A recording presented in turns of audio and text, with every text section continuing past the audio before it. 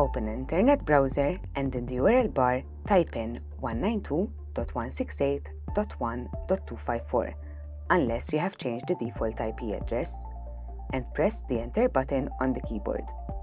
Click on sign in at the top right of the page to log in.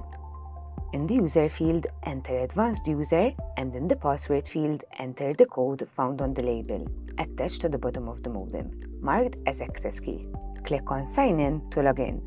Instead of sign in at the top right, you should now see advanced user to confirm that you have logged in with the correct account. Click on the wireless card. You will see channel under the interface section with a drop-down menu. Change channel selection from auto to a channel from the drop-down list. Ideally, channel 1, 6 or 11 is selected. Click on the Save button to save changes. Click on the Close button to return to the modem's homepage.